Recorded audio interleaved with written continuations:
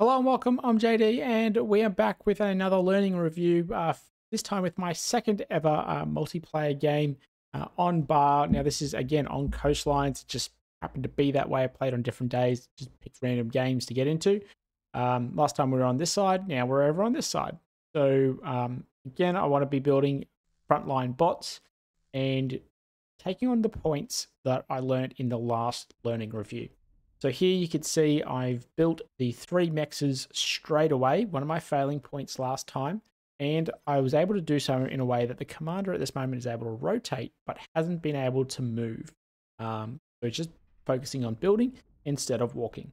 So um, I already feel like I'm off to a better start here, and we have the same amount of win, 3 to 14. So instead of going um, into wind straight away and going into two solars to give me a bit of a stronger foundation. We have orange paired down uh, down with a Kakarot um, playing Cortex. We've also got, I think, um, a few people up here. I didn't really pay a lot of attention up the top um, during this game. Uh, they do sort of push across, but um, I, I, I just I was very focused on doing my thing. Uh, we will come to the other players, but just, at the moment I'll hide them all uh, just for a little bit. So straight away, um, we've all got the metal producing with 8 metal, uh, with balancing or have a fairly even uh, bit of uh, power, and we are building, let me get this back to full speed now that we've caught up, uh, we are building our first bot lab, or our bot lab. Now things that you'll notice um, is that I'm going to get a bit more power. Probably, as much as I was saying I was learning, uh, I probably should have just gone more solar collectors uh, because the power has, um, or the wind has dropped from uh, 14 uh, down to 3. I build one and decide, hey, it's I can actually switch back to providing that support there. I get a resbot straight out and I'm going to send them over to start reclaiming. We'll get a bit more energy there. Off he goes. You can see that there's a fair amount of energy there uh, about 2,000 energy. And we get a few more of the uh, wind turbines up. Sort of stabilizing this, not too great, but we are trying to stabilize it. Uh, metal's also being stabilized. First constructor's out, second one's coming, and then we're going to go into ticks, and we're going to run those ticks across the map uh, and try to scout for the enemy. Uh, we do uh, build um, one of them. I did have a la light laser turret queued up here. However, I do then start to walk away and then I remember what happened last time. So um, you can see that there is you can build from a bit of a distance, and instead of having to walk back around, uh, I do build that light laser turret. That is going to now be able to cover uh, all of these uh, resources here. Uh, although anything that sort of stands off far enough will be able to uh, take this take these out, but I am confident that I'll be able to defend here. Got the first wave of ticks uh, coming out across the map. Now, last time we spoke about lanes, and for me, this time I really wanted to focus on this being my lane. I'm going to leave this drawn on the map, and we're going to see if um, I'm actually able to do that. I will eventually remove that um, in time. So we've got 10 ticks out on the map. I've got sort of two waves of five. What's this? Four up there. There's five there. I think there's one more coming, or maybe I cancel that. And then I'm building pawns. Now, I generally have um, the ticks and the pawns are starting in the same sort of control group. I do eventually move these into their own control group.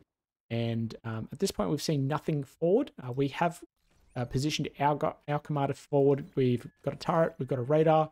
So uh, providing a bit of vision, and then we'll, we'll move forward into this area here. Uh, yellow is very far forward. It's going to be able to start to build, and, and that's not a bad thing. It's going to be able to start to build uh, that um, defense in the middle, unlike me last time, uh, where, you know, it, it took forever. He's going to start and then build backwards. And the enemy's commander here, I don't think they see us, but I actually managed to get all my ticks um, because I can navigate this train up and over and just sit them right there.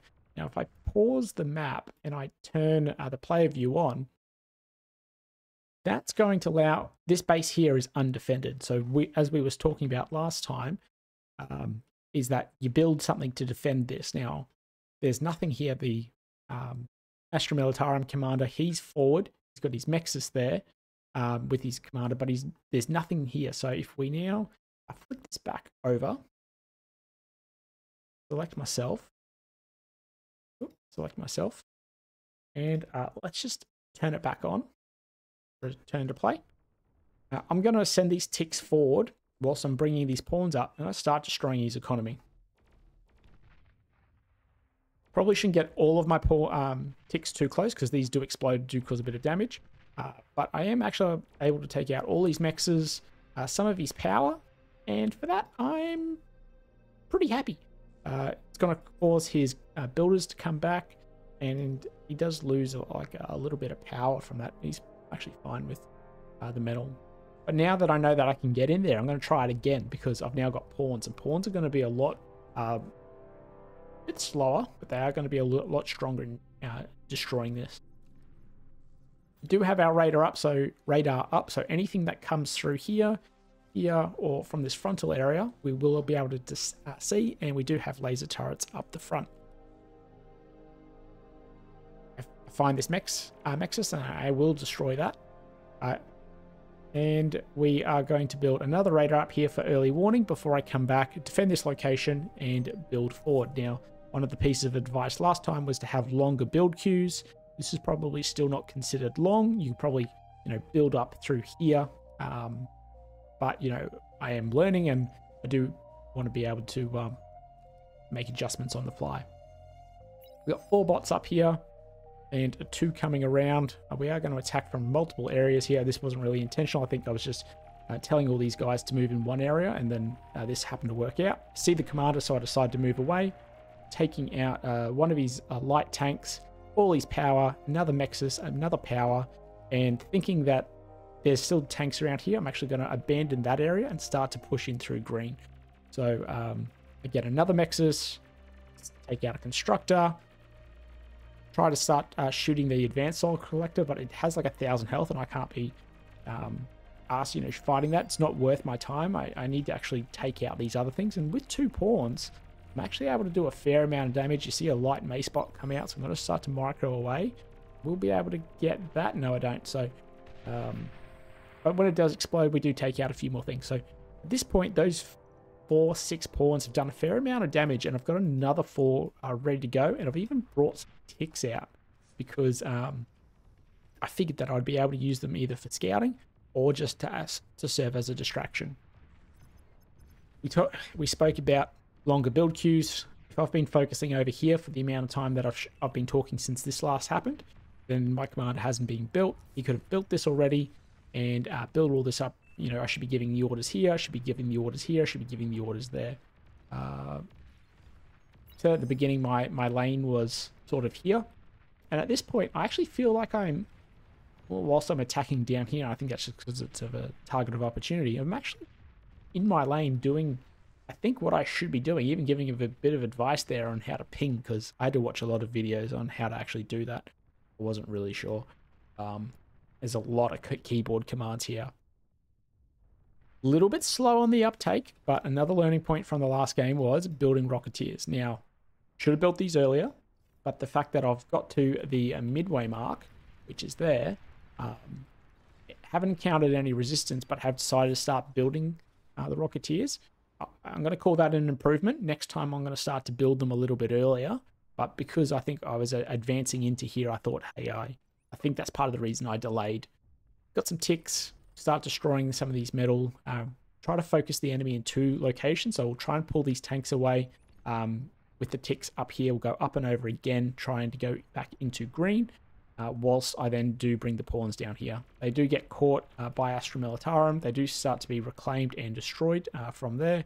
But again, we get the ticks in here, taking out um, the enemy's econ, taking down their power, um, I really need to be able to split them up so that they all don't die. But by doing so, we've actually enabled um, and taken out a fair amount of defenses for these brute tanks to start coming in.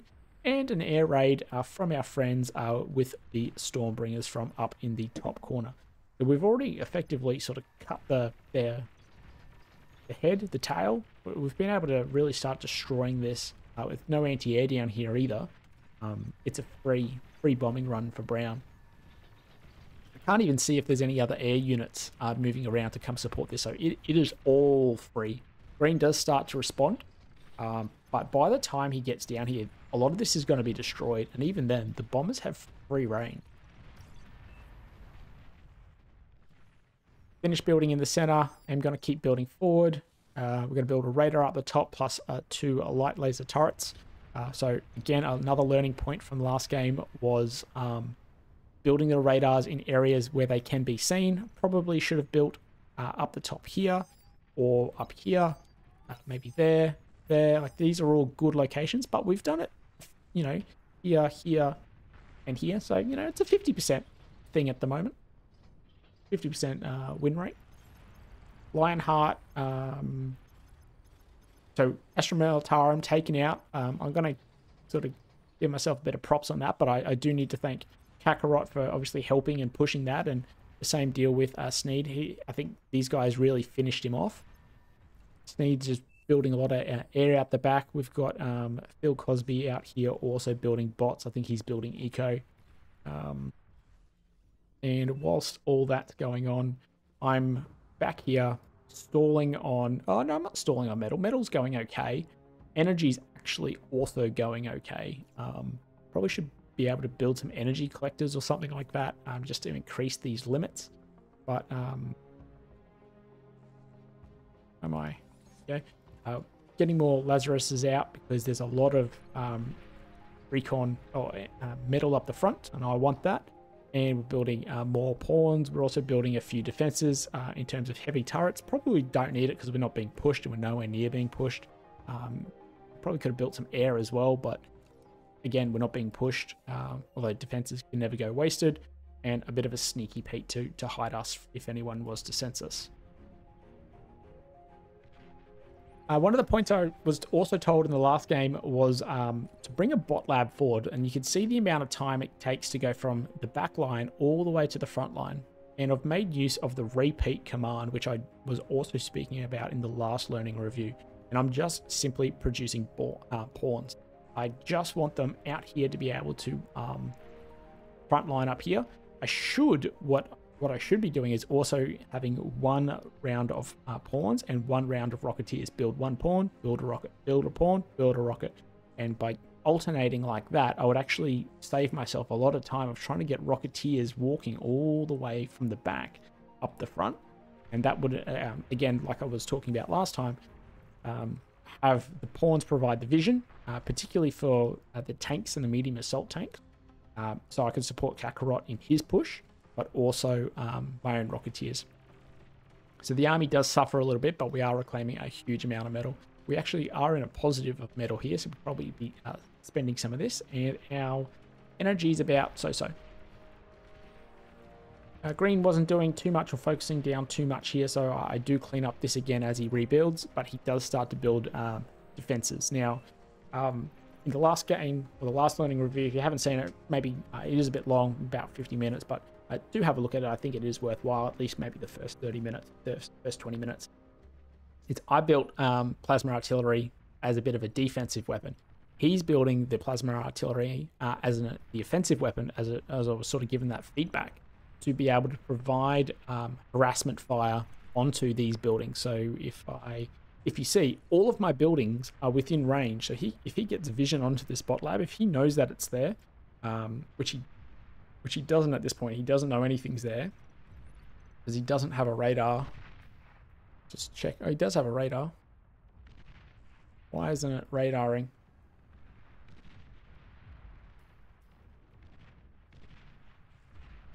Can't see it for whatever reason. Um, if he saw that, that would be able to, to be doing damage. He'd be able to take out my radar. He'd be able to take out these things. Uh, and I can actually see I can actually see, because I've positioned the radar on the top of the hill, that we have something there. So Kakarot's going to make a move with these tanks. I'm also going to come in uh, as well, because uh, we can get a bit of a pincer movement here. So he's going to come in from this direction. I'm going to come in... Whoop, I'm going to come in from this direction, uh, and we're going to pincer uh, these defenses here.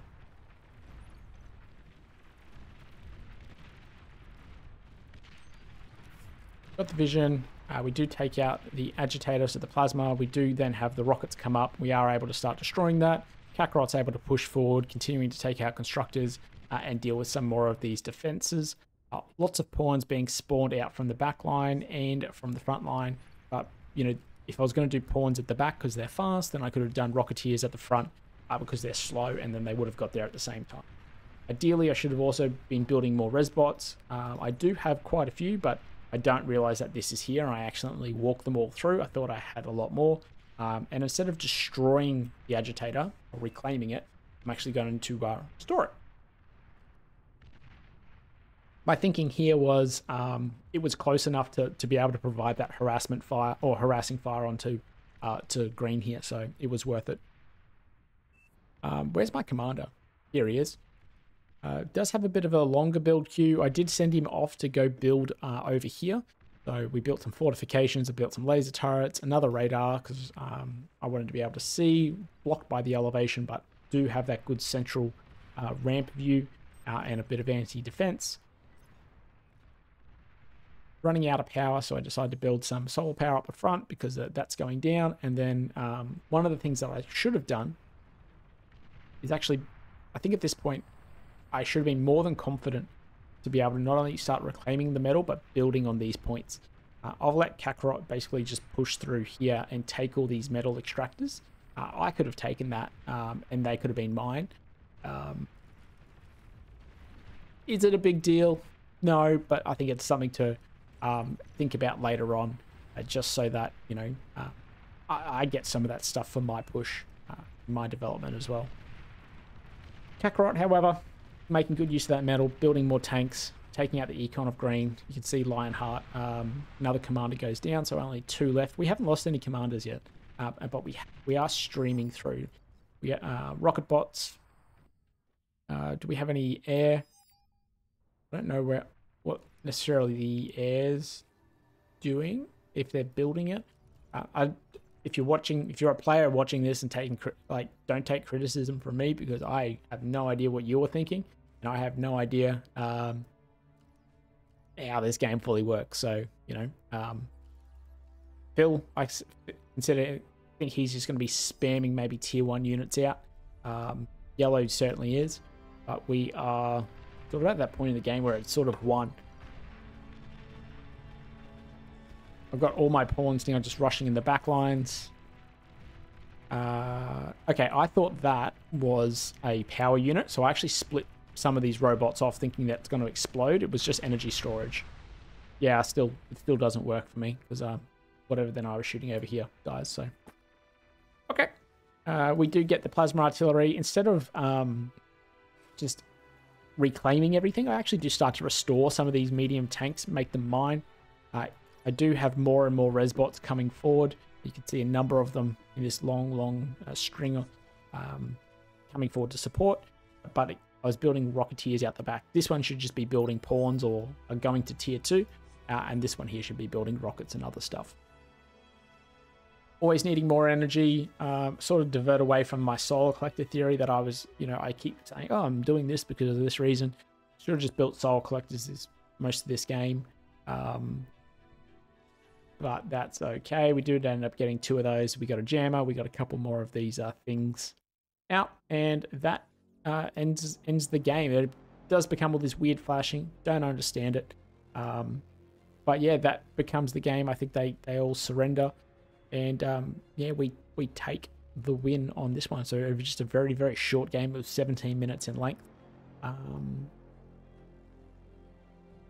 yeah, I was I was pretty happy with that. I thought I did a really good um, opening push, and then you know I think I really touched on some of those learning points uh, from the the initial um, game that I played. So uh, I'm gonna call this one a win um, in terms of development, and uh, hopefully I can continue to take a few more of these learning points forward because I think I am getting a, a little bit better. Uh, I don't know if you if people are interested in seeing the stats. I'll just throw them quickly on the screen. You can uh, see if it's if it's anything you like. Where am I? I'm again sort of sort of mid pack there. That's it. Thanks for watching and take care.